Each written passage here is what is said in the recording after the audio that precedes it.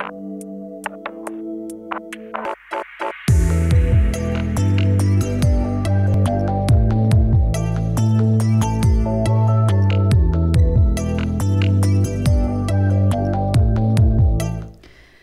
الخير مشاهدينا الكرام وأهلا وسهلا فيكم وين ما كنتم تابعينا بحلقة جديدة من برنامج كله صحة والأخير لعام 2020.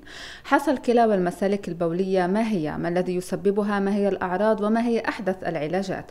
حول هذا الموضوع سنتحدث مع ضيفنا بالاستوديو دكتور عبد الحليم دراوشي مختص بجراحة المسالك البولية في المركز الطبي رابين. دكتور عبد الحليم أهلا وسهلا فيك ببرنامجنا. أهلا وسهلا شكرا على الاستضافة بالبرنامج. أهلين. آه، طبعا دكتور اليوم إحنا بدنا نركز على حصى الكلى آه، الحصى بالكلى وكمان بالمسالك البولية. ولكن بداية إذا بدنا نيجي هيك نعرف للمشاهدين يعني شو بنعني يعني بالحصى في الكلى أو المسالك البولية. التعريف الصحيح هو الحصى في الكلى كل حصى البداية تبعتها في الكلوي. بعد ذلك تمشي في الطريق لحد ما تصل المسالك البولية والمثانه أما البداية تبعتها بتبلش في الكلوي ومن هناك الطريق بتبلش للمسالك. أها. إذا بدنا نيجي نحكي بالنسبة للأسباب يعني إحنا هون بنحكي على الحصة يعني عادة طبعا رح نشوف كمان هي شايفين قدامنا على الشاشة أشكال متعددة آه، للحصو في الكلى. السؤال هون من شو آه، طبعا آه، شو الأسباب؟ شو اللي بيسبب إنه الواحد يكون عنده حصو بالأساس هي ترسبات أملاح ومعادن. الكلى معروفه وظيفتها كفلتر.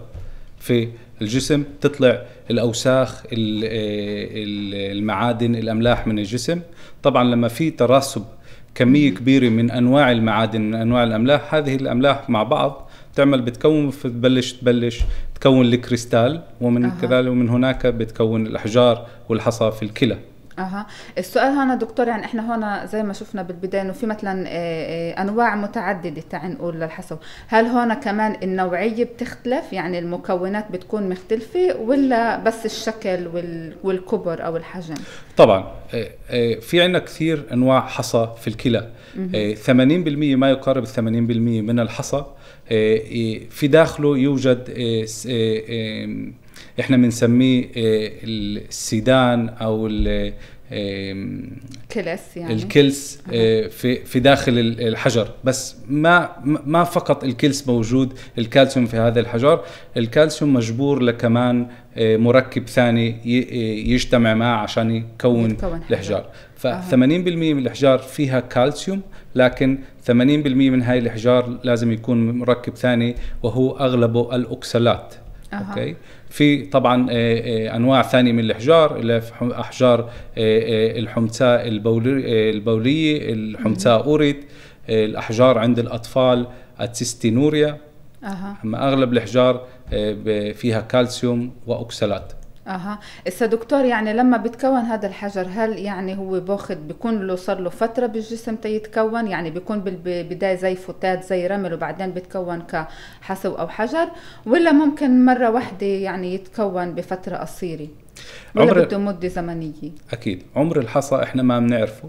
أما آه هو آه آه, آه، الحجر بيكبر شوي شوي الحجر ما بيكبر خلال يوم هذه الكريستالات بأخذ لها وقت كثير عبين ما تتكون وتكبر وتتجمع وتكون الحجر إيه، الحجر ممكن يكون في كبر مليمتر أو أقل في في إمكانية إحنا نشوفه في الميكروسكوب أه. ولكن الحجر ممكن يكون كبير حتى يصل كبر إيه، إيه، طابة جولف أه. يعني كمية كبيرة كبر كبير تبع الحجر ثلاثة أو أربعة سنتيمتر أه. في قلب الكلى السؤال هنا دكتور يعني طب هاي الأشياء زي ما إحنا حكينا اللي الكلاوي هي عبارة عن طبعا زي مصفاي يعني بتنظف الجسم. ولكن شو اللي بسبب؟ هل هو آه، مي مش نظيفة؟ هل هو أنواع أكل معينة؟ هل هي أمراض معينة اللي ممكن تساوي خلل آه، من ناحية آه، أو أو تكتر من هاي الكمية ويصير تعال نقول ضغط على الكلى وهو ينظف فبتكون من الحجر يعني؟ فكيف بالضبط الإشي بصير؟ أول شيء لازم نتطرق للشائعة إنه شرب آه. المي آه، من الحنفية أو شرب المي في بلدان معينة آه، هو اللي بيسبب آه، الإحجار. في كثير مرضى بيجوا عندي على العيادة فبقول لي أنا من البلد هاي بيقولوا عندنا في البلد إذا بنشرب المي من الحنفية بصير عندنا إحجار. للأسف هاي شائعة ما هي أه. مزبوطة.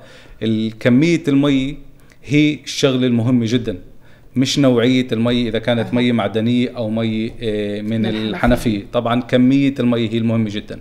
فعلى سبيل المثال تكون الحجار هو ترسبات تبعت أملاح. بما معناه إذا في عندنا كمية أملاح كبيرة اللي قاعدة بتترسب وبتكون الحجار إذا في عندنا كمية بول كمية مي اللي إحنا بنشربها وبتشطف الكلاوي فعمليا إحنا ما بتكون عندنا احجار إحنا دائما في عندنا إفرازات تبعت أملاح ومعادن. ولكن إذا بنستهلك كمية مي كبيرة اللي هي كنتيجة بصير عندنا كمية بول كبيرة هي بتشطف وبتنظف هاي ال ال الكريستالات تبعت الحجار. طبعا في كثير مواد غذاء اللي إحنا لازم آه، نبعد عنها حسب آه، حسب شو نوع الحجر اللي هو موجود عندنا. يعني هي بحال إذا حدا اكتشفوا عنده حجر صحيح. أوكي. ما يقارب ما يقارب كمية الناس اللي بصير عندها حجر في مهلاك في آه، مراحل الحياة في مراحل الحياة تبعتها بين 10 ل 12% من جميع الناس الموجودين في دولة إسرائيل وفي العالم كله تقريبا أه. بين 10 ل 12% راح يكون عندهم حالة آه، حصى في الكلى لو مرة واحدة في الحياة أه. يعني واحد كل, كل إنسان كل شخص من 10 أشخاص راح يكون عنده حصى في الكلى لو مرة واحدة في الحياة أه. طبعا هذا بدل على أسلوب حياة معين وبالذات وبالذات قلة شرب المي يعني أه. أهم شيء هي شرب المي بكمية كبيرة مزبوط طبعا إحنا دكتور كل تقريبا بكل البرامج بنحكي على التغذية الصحية ونمط الحياة الصحي وقديش عن جد أهمية المي. يعني في أشخاص اللي آه، بتسمعهم بالمرة بيشربوش مي. يعني ممكن يشربوا شاي ممكن يشربوا قهوة ممكن يشربوا آه، مشروبات غازية ومحلاه وكل هاي الأمور. بس مي تقريبا يعني عن جد بيشربوش بالمرة. فهاي الفئة يعني أكثر عرضة إنه يكون عندها آه، حصو في الكلى. أكيد. إحنا بننصح الناس اللي عندهم حصى في الكلى أو أحدى من أفراد العائلة عنده حصى في الكلى لازم يشرب يشرب أكثر من 10 كاسات مي في اليوم. يعني لازم يشرب أكثر من 2 لتر مي في اليوم. والناس اللي بتشتغل في الشمس أو بتعمل رياضة أو بتشتغل في المطبخ اللي هي في كمية إفرازات مش بالبول اللي هي في العرق وبالهواء فبنطلب منهم يشربوا مي أكثر. يعني إحنا بالآخر بدنا كمية بول اللي هي ما تقارب 2 لتر كل يوم عشان نمنع تكون هاي الحجار. أها. دكتور وكيف ممكن الواحد يعرف إذا عنده آه، بيشرب كمية كافية؟ هل حسب لون البول عنده؟ يعني ممكن الواحد هيك يعرف إذا لازم يشرب أكثر مي أو أقل مي لأنه يمكن كمان هون بظن إذا أنا غلطانة صححني دكتور يعني حتى زي إحنا عم نحكي مثلا ذكرت هون إذا الواحد بيشتغل بالشمس أو بيشتغل أو بيعمل رياضة أكثر وهيك بس كمان يمكن بحجم الإنسان يمكن حسب وزنه حسب طوله يعني ما أظنش شخص آه، أكثر بالوزن بحاجة لمي زي واحد أضعف بالوزن ولا ما فيش علاقة في علاقة أه. في علاقة بالذات زي ما حكيتي التركيز تبع البول لما أنت بتقولي اللون تبع البول أه. إحنا بدنا نبعد عن الشغلات اللي إحنا بناكلها طبعا اللي ممكن تغير لون البول أما إحنا بنقدر نعرف كمية البول يعني إذا أه. إحنا بنقدر نفوت على الحمام مرة كل ساعتين ثلاثة عشان آه، آه، آه، نبول هاي كم بنبول كمية منيحة كمية اللي هي مش مركزة. أه. البول لونه أبيض أكثر شفاف. فما فيش تركيز لأملاح ومعادن أما إذا بنفوت كل ست سبع ساعات أه. على الحمام وما فيش كمية طبعا آه يعني كمان إذا الواحد بشوف إنه لون البول عنده أغمق هاي معناته صحيح. بيقول إنه صحيح. لازم يشرب أكثر أكثر ماء أكيد في أنواع من الطعام اللي ممكن تغير آه إحنا عشان نحكي ما أظنش كل يوم إحنا عشان نحكي مثلا دكتور شمندر شمندر أكيد شمندر الشمندر اللي بيعمل إيش أكيد أكيد. كمان أطعمة يعني اللي ممكن تغير اللون في أنواع من البهارات اللي ممكن تغير ألوان الكركم هاي كمان الاشياء اللي بتمسك كمان. لون. مش عند كل الناس أما في آه. امكانيه إنه تغير طبعا قليلة يعني أكيد مش باليوم يوم بأكلوا هاي الأشياء صحيح. يعني. فإنه كل ما كان في تركيز أكثر اشربوا أكثر مي. هاي صحيح. بدنا نحكي لازم كمان. نشرب مي كثير. okay إذا كمان قلت شغلة دكتور وما كملتش بالنسبة للأغذية قلت لك بيكون أكيد. عنده حجار فلازم يمتنع عن بعض الأطعمة. شو هي؟ أكيد. بالآخر الحجر بتكون من معادن وهي المعادن مش موجودة في المي المعادن هاي موجودة في الطعام. يعني مم. الأحجار تبعتنا بتتكون من المعادن اللي إحنا بنستهلكها من الطعام مثلا زي ما حكينا بالأول إنه أغلب الأحجار هن كالسيوم اوكسالات الكالسيوم لحاله ما بيقدر يعمل حجر فلازم له الاوكسالات الاوكسالات موجود في أغذية صحية جدا مثل مثل الشغلات الخضراء يعني آه. السبانخ آه البامية البطاطا آه التوت الأرضي آه. اللوز الجوز الشاي الأسود الشاي الأخضر إيه، هاي الشغلات فيها كمية أكسلات عالية جدا. إحنا ما بنمنعها طبعا عن الناس. إحنا بنطلب في شغلة شائعة. باعتدال يعني نخ... إنه- نعم. بالآخر اللي في عنده حجار وهذه الحجار إحنا بنعرف إنها بعد ما بعثناها على المختبر وبعد ما عملنا له الفحوصات اللي رح نتطرق لها بعدين نعرف إنه في عنده كمية اوكسالات عالية. الشغله الوحيده اللي إحنا بنطلبها منه إنه يخفف من استهلاك هاي الطعام السبانخ والبامية والتوت الأرض أها. وكل هاي الشغلات. وفي كمان أطعمة أخرى دكتور مثلا إذا بدنا نحكي على آه، أغذية مصنعة اللي هي فيها نسبة أكيد. آه، أملاح كثير بالضبط. وهي الشغلات. غير طبعا ال ال ال كل ال شو بيحكوا ال- الأطعمة اللي بيزيدوها ل- للنكهة وهي الشغلات اللي هي طبعا كيماوية وطبعا لها تأثير. بالضبط. نقطة مهمة جدا. الكالسيوم هو موجود في داخل الدم. الكالسيوم لما بيصل آه، المصفاة للكلوة إذا بيجي معاه ملح فالملح دائما بيربح فالكالسيوم بهرب للبول. فلذلك أها. إذا بنستهلك كمية كبيرة من الملح هذا الإشي بيسبب بالآخر لهروب الكالسيوم للمسالك البولية وللبول وتكوين الحجار آه، آه، في المستقبل. أها. فالشغلات أهم شيء أهم شيء زي ما حكيتي إنه نست... نبعد عن الأملاح. السكر آه، فيش أبحاث اللي بتقول إنه السكر لها بيعمل. مشاكل. أما في أبحاث بتقول عن الناس اللي في عندهم سكري اللي بنتطرق بعدين نحكي عنها. هسه من ناحية فئات هون دكتور آه، طبعا إحنا حكينا إنه ممكن آه، أي شخص آه، 10 لبين 15% ممكن يصير عنده آه، بمرحلة بالحياة إنه عنده حصو السؤال هون إذا بدنا نيجي نح- نحكي عن نساء ورجال في فرق في نسبة أكبر عند الرجال أو عند النساء؟ أكيد. زي ما حكينا إنه بين 10 ل 12% من من الجمهور كلياته راح يكون عنده حجار. أغلب الحجار أغلب الجيل أكثر جيل فيه حجار هو بين جيل ال 30 وال 50 أها. أوكي؟ بس في هنا نقطة مهمة جدا إنه الحجر ممكن يكون عند ايات شخص حتى عند الأطفال. يعني ممكن أها. يكون أطفال عمرهم سنة أو سنتين ويكون عندهم حجار. طبعا هذا الإشي ممكن يكون وراثي أكثر من ما إنه آه، كنتيجة من استهلاك آه، من الطعام الغير صحي. يلحق ب- يستهلك طعام مش صحي بهيك آه، زي ما حكيتي بالأول أها.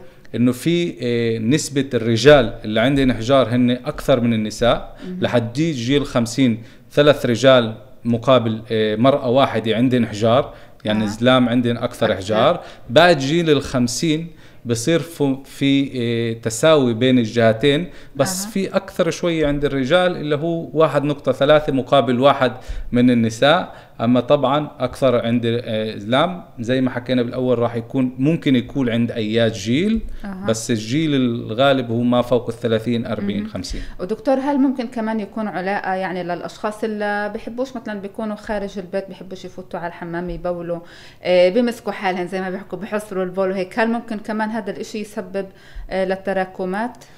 أو إيه. ما إلوش علاقة في له علاقة في نوع من الأحجار مش في كل الأحجار في له علاقة في أنواع الأحجار اللي هي ممكن يكون أحجار تلوث ممكن أها. يكون فيها آه، فيروسات أو ممكن يكون فيها بكتيريا هاي الأحجار ممكن تتكون مش بس بالكلى ممكن تتكون في المثانة في كيس البول ممكن أها. تكون عند الرجال ممكن تكون عند النساء ونتيجة هاي الأحجار هي نتيجة آه، لعدم آه، التبول بالوقت التبول في. الوقت والبول بظل واقف زمن طويل مع آه، حدوث البكتيريا. فهناك هاي البكتيريا بتسبب أنواع من أحجار اسمها أحجار ستروفيت. ستروفيت ما معناه الالتهاب بالبول اللي بسبب الحجار أها. آه، دكتور طبعا إحنا رح نحكي على الأعراض بالنسبة آه، للحصى ولكن آه، هل بالفحوصات تعال نقول الروتينية لما الواحد بيروح بيعمل زي ما بيعمل فحوصات دم بيعمل كمان طبعا فحوصات البول. هل ممكن يكون هناك مبين إنه في إشي إنه ممكن يعطيك تعال نقول زي ضي أحمر إنه ممكن يكون عندك استعداد ل يعني تكون حجر؟ ممكن زي زي ما قلت بأول الحلقة إذا بيكون رمل أو بيكون إشي ترسبات من هالنوع؟ أكيد. عن الأعراض الطبية رايحين نتحدث أما عن. الفحوصات إذا ممكن إحنا نعرف إنه في عند الإنسان حجار أول شغلة الحجار هي إيه، إيه، وراثيه لكن مش في الجينات يعني أها. وراثيه ما يقارب 20 ل 25% في العائلة إذا واحد من أبناء العائلة الأب أو الأم عندنا حجار 20 25% واحد من الأطفال راح يكون عنده حجار هذا مش نتيجة لسبب وراثي في الجينات إلا. نتي- نتيجة لتعامل عائلي انطباع عائلي في أها. الطعام فلذلك ممكن يكون آه، إحجار بالنسبة للفحوصات اللي إحنا ممكن نعملها في كثير فحوصات إحنا بنعملها بشكل روتيني ultrasound للبطن في في وقت الحمل أه. فحوصات دم وفحوصات روتينية مرة في الشهر أو مرة في السنة ممكن نعملها الشغلة المهمة جدا في ممكن يكون دم في البول أه. هو دم بالبول مش إحنا الا بنشوفه إلا دم بالبول في اللي إحنا بنشوفه في الميكروسكوب أه. فهذا الدم في البول ممكن يكون نتيجة أو نتيجة التهاب في المسالك البولية أو نتيجة حصى في الكلى اللي ممكن يعمل احتكاك مع الغشاء اللي بغطي الكلاوي من جوا وهذا بسبب لخروج الدم الميكروسكوبي آه، في في البول. طبعا فحوصات زي ما حكينا فحوصات ال ultrasound هاي بس ال ultrasound وهي بحال إذا اجى حدا اشتكى من شيء أو كان في عنده ناس أعراض لا. في ناس تعمل فحوصات ultrasound بشكل لأسباب ثانية لاسباب ثانية وبكتشفوا آه، آه، بيكتشفوا إنه في عندنا حجار في الكلاوي. فبعد ما يصلهن الجواب إنه في عندنا حجار في الكلاوي فبودوهن عنا على العيادة عشان آه، أها. إيه ودكتور إذا بدنا نيجي نحكي على الأعراض يعني شخص عنده إحجار زي ما شفنا أو حصو زي ما شفنا في هناك عدة أشكال.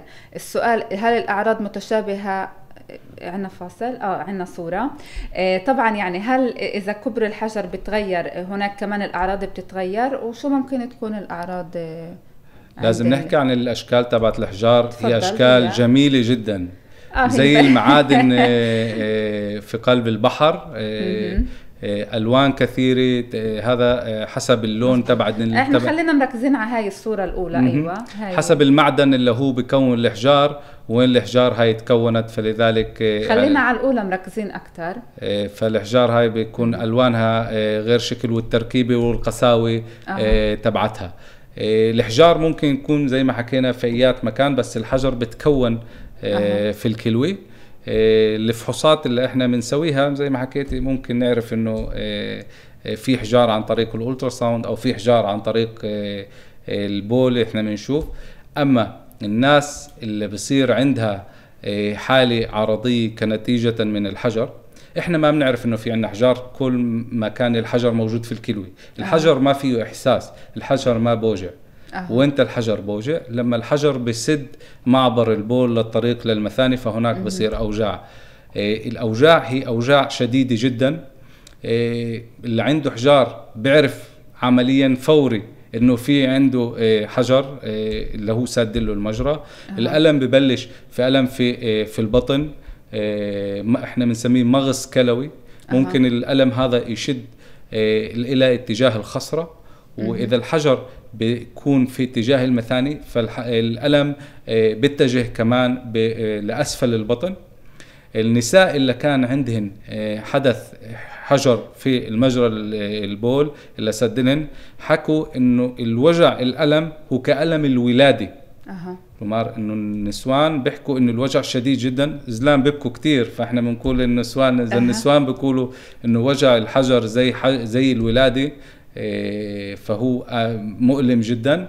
طبعا كمان الولاد بنسوا بسرعة وكمان الحجر بنسوا بسرعة. أكيد بعد ما ما يطيبوا يعني بيكملوا يعملوا أولاد وبيكملوا ما يشربوش مي. أكيد دكتور رح نركز على هاي النقط ولكن بعد الفاصل مشاهدينا فاصل صغير وبنرجع. انتظرونا.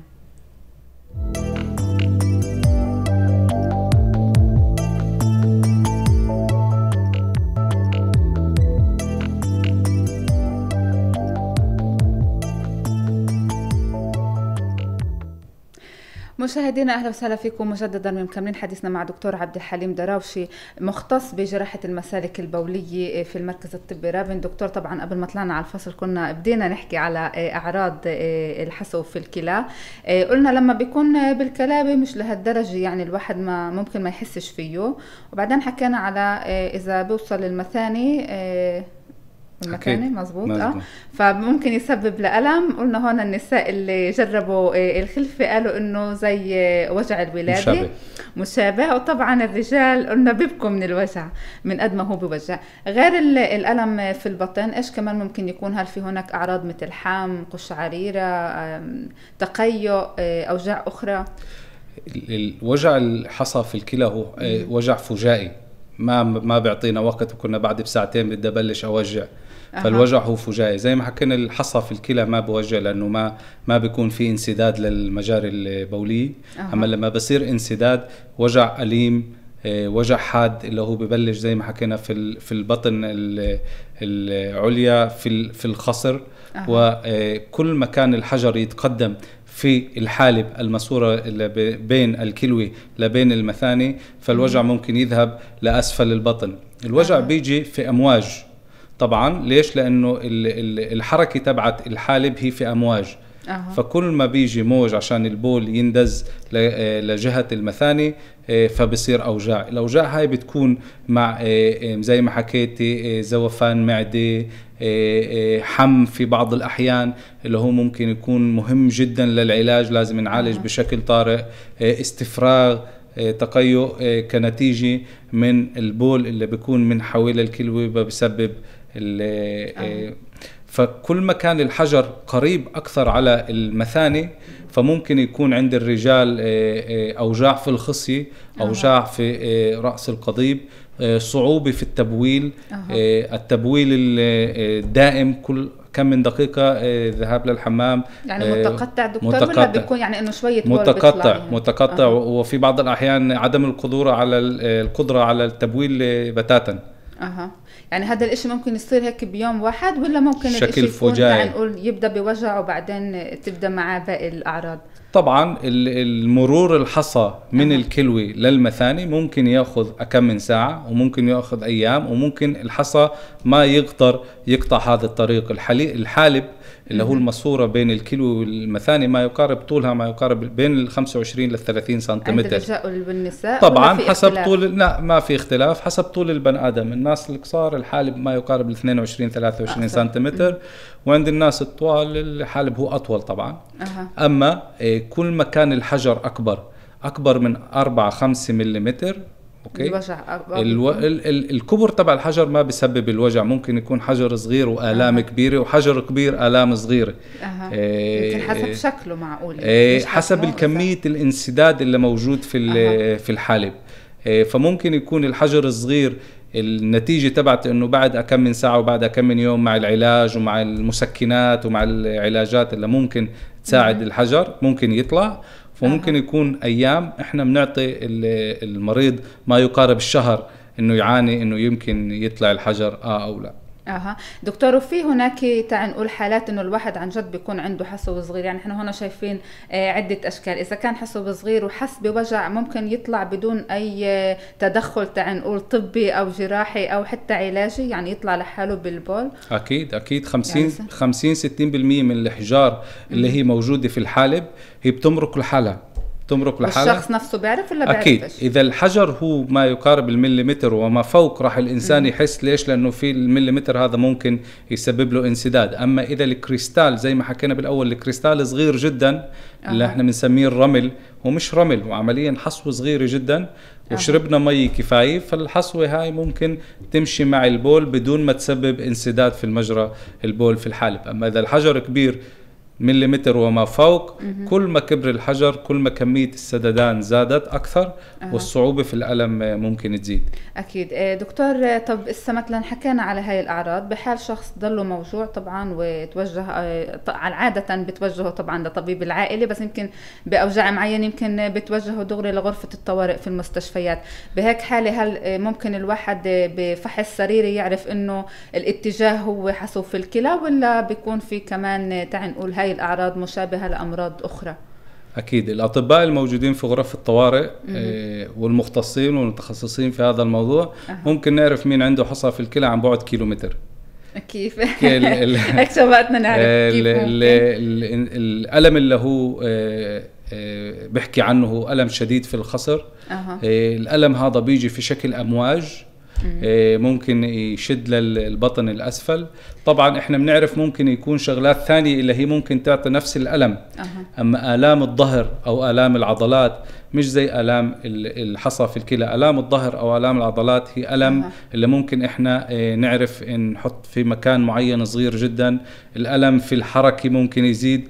حاجة الحصى في الكلى اللي هي سادة الحالب ما بتتغيرش. لا في النوم ولا بالوقوف يعني هو قاعد وهو واقف نفس الوقت واقف عنده. كل الوقت. okay. طبعا ممكن يكون حالات طبية ثانية اللي ممكن تشابه هذا الألم. م-م. okay؟ فإذا كان الألم من الجهة اليمنية ممكن يكون عند الإنسان في حجار في كيس المرارة. أها. أو في ممكن يكون عند الإنسان التهاب في الزايدة. أها. فلازم نعرف ممكن يكون حسب. يعني بالنسبة للحصوه دكتور ممكن يكون بالجهة الشمالية أو اليمينيه ممكن فيش يكون- هون مش بجهة واحدة. في تساوي بالجهتين أها. في من اليمين ومن الشمال في بعض الناس اللي بيكرروا صنع الحجار من جهة واحدة ليش؟ الله أعلم. أها. في كانت شائعة مرة انهم بيناموا على الجهة هاي فلذلك بيكونوا الحجار في الجهة هاي. يعني مفهوم مغلوط مفهومه. مغلوطه أها. طب دكتور زي ما قلنا بعد ما آه، بالفحص السريري أو أنتم طبعا كأطباء مختصين شفتوا الإشي عن بعد آه، شو ال- الفحوصات اللي بتعملوها غير ال ultrasound؟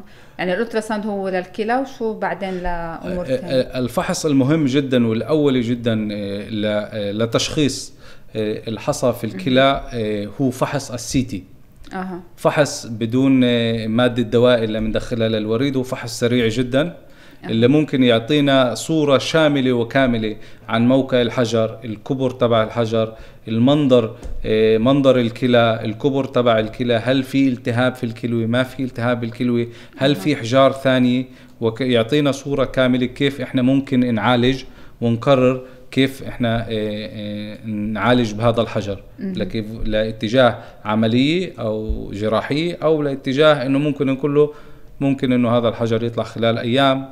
عن طريق شو دكتور أدوية؟ إيه، ولا بنرجع نحكي على المي نركز. نركز على المي. أول شيء على المي شرب المي الزايد هو بيساعد على تنظيف المي بتنظيف الكريستالات.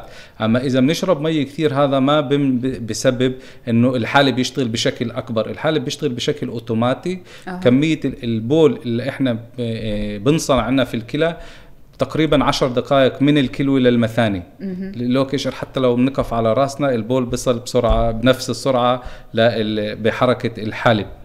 إيه، فلذلك كمية المي هي مهمة جدا. فزي ما حكينا في الفاصل ليش المي مهمة جدا؟ إذا بنيجي بنحكي عن الترسبات والمعادن هو بالذات إحنا بنحكي على التشبع تبع البول. أها. بنيجي بناخذ كاسة مي وبنحط فيها معلقة ملح وبنحركها بتذوب. إذا بناخذ المعلقة الثانية وبنحطها في نفس الكاسة وبنحركها ممكن يصير ترسب قليل منها في قاع الكاسة. يعني جربوها بالبيت هيك في البيت طبعا. طبعا شفافة. طبعا.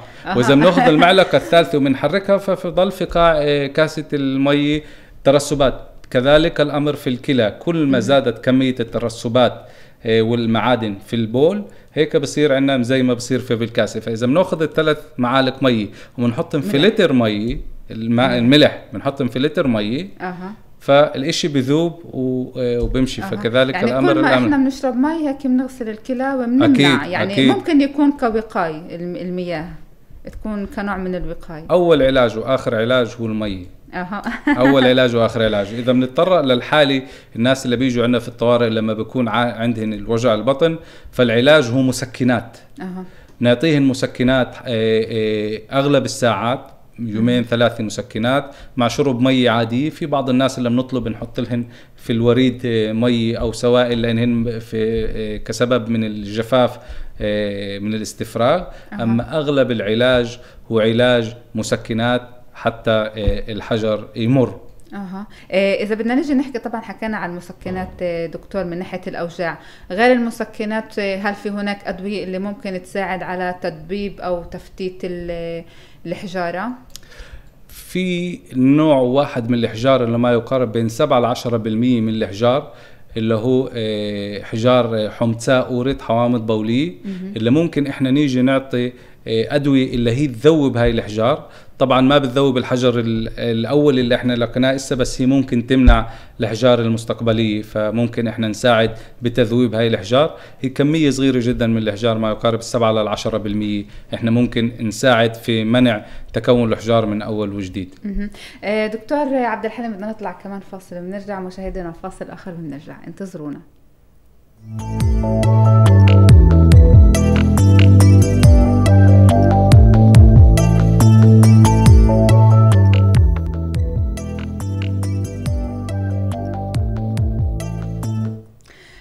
دكتور عبد الحليم طبعا بدينا نحكي هون على المسكنات وكل هاي الأمور. آه، إذا بدنا نيجي اليوم نحكي على العلاجات وخاصة أحدث العلاجات يعني طبعا في البداية إذا الواحد كان بحاجة كنتوا تعملوا عمليات جراحية اليوم بالغنى عن هاي الأمور وطبعا النتائج آه، هي كتير منيحة. آه، شو أخر المستجدات بكل ما يتعلق بعلاج الحصى؟ التكنولوجيا تقدمت كثير في في بالذات في العلاجات الجراحية للحصى في الكلى. لحديد قبل 30 سنة إحنا كنا مجبورين نعمل فتح للبطن أو فتح للخصر حتى أه. نصل للحجر ونطلع حجر صغير نفتح 20 و30 سنتيمتر في الأوجاع واليوم ما في حاجة نعمل هذا الإشي. قبل 30 سنة كان في بداية في لماكينه اسمها الصدمات الصوتية الخارجية. أه. الصدمات هاي كانت تصيب الحجر وتفتفت الأحجار لحصى صغير جدا. بعدنا بنعمل هاي الطريقة لحديت اليوم آه، طريقة متقدمة طريقة اللي هي آه، غير آه، داخلة في قلب جسم البني آدم. إحنا من الخارج بنعمل الصدمات الصوتية هاي. وبنفتت الحجر لأحجار صغيرة جدا والبني آدم بفرز هاي الأحجار طبعا هاي العملية ما بتلائم كل الناس ما بتلائم كل أنواع الأحجار أه. ما يقارب إحنا بنعمل 10% 10% من كل العمليات هما الصدمات الصوتية الخارجية وباقي الإحجار. إحنا بنستعمل التلسكوب ممكن يفرجونا صورة أكيد رح آه، نشوف العمليات إذا ممكن آه على الشاشه للاندوسكوب. إحنا بنسميها الأوروتروسكوبية. زي ما أنتم شايفين هاي صور من عملية إحنا بنعملها. الحجر اللي أنتم شايفينه حجر في داخل الحالب. هون عامل يعني ما ماش انسداد. انسداد. زي ما أنتم شايفين الحجر بتكون في الكلوة في المجرى البول في قلب الكلوة. من هناك الحجر وصل لقلب الحالب فسبب انسداد. إحنا بنصل للحجر هذا عن طريق آه، تلسكوب صغير جدا. الكبر تبعه ما يقارب 2.3 آه، ملم صغير جدا. ممكن نصل لحديت الحجر اللي موجود في أي مكان في داخل المسالك البولية. اليوم ما في حاجة نعمل أيات عملية فتح للبن آدم عشان نطلع حجر. في هذا التلسكوب بنصل زي ما شايفين بنصل لأيات حجر. في الصورة C و D إحنا بنشوف هناك الليزر اللي إحنا بنستعمل في تفتيت هذا الحجر. قوة الليزر هي قوة رهيبة جدا ممكن أه. تفتيت أيات حجر مش مهم شو الكبر تبعه وبعد ذلك بنمسك الحجر هذا مع سلة صغيرة وبنطلعه لبرا وزي ما أنتم شايفين بالصورة الأخيرة من تحت نضيف. الحالب نضيف جدا ما فيه حجار وهيك بنقيم الألم بشكل آه، فوري بعد أه. العملية طبعا لازم نعرف إنه كل عمليات الحجار هي عمليات آه، اللي بتنعمل في تخدير كامل ما في آه، تخدير موضعي إلا تخدير كامل أو تخدير نصفي. آه، الابيدورال آه، أما لازم يكون تخدير كامل أو نصفي حتى ممكن نطلع الحجر. أها. دكتور بالنسبة لقلنا للعلاج الأول إنه بتفتتوا الحجر هل هذا بيوجع أكثر لأنه يعني إذا الحجار المفروض تطلع مع البول هل هذا الإشي ممكن يسبب أوجاع؟ يعني وطبعا سؤال. مش مش مثل العملية اللي لسه شفناها إنه هيك الواحد بيطلع خلص نظيف فيش إشي يعاني بعد أكيد. هاي الجراحة. أكيد. سؤال سؤال مهم جدا كثير من المرضى أه. بيسألوه. إيه إيه في هنا شغلتين. الصدمات الصوتية الخارجية ممكن تفتت الحجر لكمية صغيرة جدا والبني آدم ممكن يطلع هاي الحجار إيه لبرا وممكن يسبب آلام كبيرة لما الحجر هذا بمرق زي ما حكينا بالأول لما بصير الحالة أه. في العين.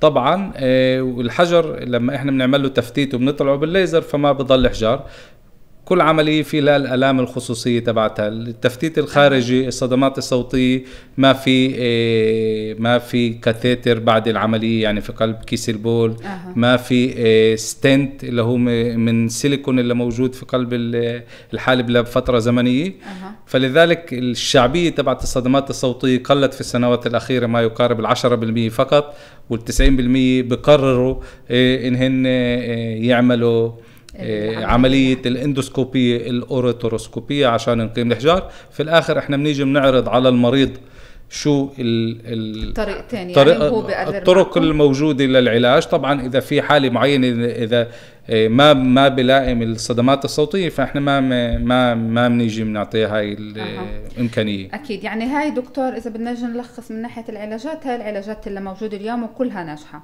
نعم. اليوم النجاح تبع الاوروتروسكوبيا أو الاندوسكوبيا عشان نكسر الحجار الحصى ونفتفتها ونطلعها لبرا ما يقارب 98% يعني ما في إيه، فشل. طبعا في بعض الأحيان إحنا ما بنقدر نصل للحصى كسبب من التهاب اللي هو ما فوق الحصى أو ما تحت الحصى فوقتها بنترك ماسورة من سيليكون لفترة معينة لمدة كم من يوم وبعدها بنرجع إيه، عشان ننظف الوسخ وننظف العمل. أما في الآخر في الآخر البني آدم بيطلع بدون احجار للحالي. أها. للمستقبل آه ما بتعرفوش. كنت بدي أسأل هون دكتور قديش النسبة الأشخاص اللي مثلا عملوا آه عملية أو تعالجوا لعلاج الحصى ولكن رجع لهم الإشي بعد فترة؟ قديش النسبة تاعت هي الجواب تبع مكون هو من عمر المريض. كل ما كان عمر المريض أصغر فالإمكانية إنه في الحياة المستقبل إنه يكون إحجار هو أكبر. في عندنا ما يقارب 50% من الأشخاص راح يكون عندهم إحجار كمان مرة بعد سبع سنين و70% من الأشخاص بعد عشر سنين راح يرجع عندهم كمان مرة الإحجار طبعا الجواب ممكن يكون يختلف لنوع الحجر أه. الناس اللي عندهم إحجار اللي هي من نوعية ال חומצה אורית النوعية الحامض البولي أه. اللي ممكن يكون اللي عند الناس اللي عندهم سكري اللي عندهم سمنة إيه، سمنة بالبطن أه. اللي ممكن عندهم أمراض ثانية فهاي هاي الحجار ممكن نذوبها ونفتفتها على طريق أدوية زي ما حكينا أما هاي الحجار بتعرف ترجع في إيه، إيه، وقت قليل جدا ما يقارب السنة والسنتين والثلاثة إيه، الحجار بترجع تتكون كمان مرة. أكيد. دكتور إذا بدنا نعطي هيك نصائح أخيرة لمشاهدينا بالنسبة لموضوع الحصى شو ممكن هيك الواحد زي ما قلنا يكون وقاي غير شرب المياه بكمية؟ شرب المياه بكمية تخفيف الأملاح تخفيف إذا في حدا عنده حجار اللي فيها آه، الاوكسالات يخفف من المواد الغذاء اللي فيها اوكسالات لازم نروح نفحص حالنا عند الدكتور عشان نعمل التحاليل تبعت البول الجمع تبع البول عشان نعرف بالضبط شو المكونات تبعت البول تبعت كل شخص وشخص. وحسب المكونات تبعت البول إحنا بنعطي بنلائم الدييتا وبنلائم الغذاء لكل آه، مريض ومريض. طبعا والعلاج الدائم واللقاءات الدائمة مرة كل ست أشهر أو كل سنة نرجع عشان نعمل فحوصات من أول وجديد عشان نمنع إيه، إيه، آه، إنها تتكون بدون ما نعرف آه، دكتور طبعا هيك قبل ما ننهي حلقتنا لآخر آخر عام 2020 آه، دكتور طبعا بدنا نتطرق لموضوع الكورونا قبل ما نختم الحلقة. طبعا أنت كنت من اللي أخذوا هذا التطعيم صار لك تقريبا 10 أيام. 10 أيام ماخذ التطعيم. وطبعا أنت اشتغلت مع كثير مرضى بيعانوا من الكورونا وهيك. إذا بدنا نجي نلخص وبدنا هيك نحكي للمشاهدين بالنسبة للتطعيم بما إنه كان الكل يستنى وينزل هذا اللقاح. آه، شو فينا هيك نحكي لمشاهدينا؟ مرض الكورونا هو معنا ما يقارب العشر آه، عشر أشهر. آه، واللقاح هو بشرى سارة جدا ومهمة جدا علمانيا للعلاج في الكورونا. طبعا في أنا في مستشفى المركز الطبي رابن زي باقي المستشفيات في الدولة إحنا شفنا مرضى صعبين جدا للكورونا. وللأسف المرض والفيروس ما بيعرف يفرق بين آه، مريض اللي هو آه، ختيار أو مريض أو مريضة اللي هو آه، عمره صغير. طبعا الناس اللي كبار في السن واللي عندهم أمراض الإمكانية انهم يمرضوا ويكون عندهم عوارض صعبة جدا حتى الموت هن أكثر من وطبعا اللقاح هو لقاح مهم جدا. اللقاح هذا في كثير أخبار اللي هي أخبار كاذبة. في الإعلانات بتقول إنه هذا اللقاح ما انعملش فيه فحوصات أو ما جربش فترة زمنية معينة. هذا الإشي مش مزبوط. هذا اللقاح موجود سنين كثيرة. إيه، اللقاح هذا بالطريقة هاي بالمسنجر آر إن اي اللقاح هذا عملوا له إيه، تلاؤمات للفيروس اللي موجود عندنا اليوم. إيه، إيه، طبعا ممكن اللقاح هذا لازم يتاخذ عن طريق إيه، جرعتين. بين كل جرعة وجرعة هي ثلاث أسابيع. بعد ما نأخذ الجرعة الثانية ما يقارب أسبوع بعد ما نأخذ الجرعة الثانية.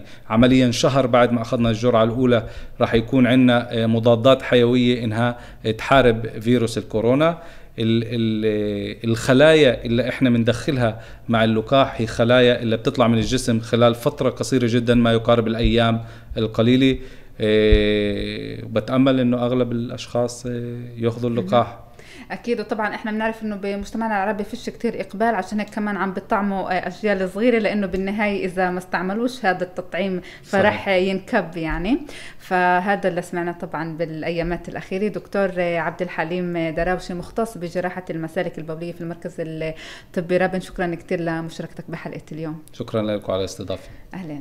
مشاهدينا الأعزاء لهون وصلنا لختام آخر حلقة من كله صحة لعام 2020 بتأمل إنه خلال السنة أفدناكم بمعلومات معلومات قيمة ومفيدة وكلنا قد المسؤولية بموافاتكم بكل ما يتعلق بجائحة الكورونا اللي مكملة معنا بسنة 2021 ولكن كلنا أمل أنه خلال العام الجديد تكون من ورانا.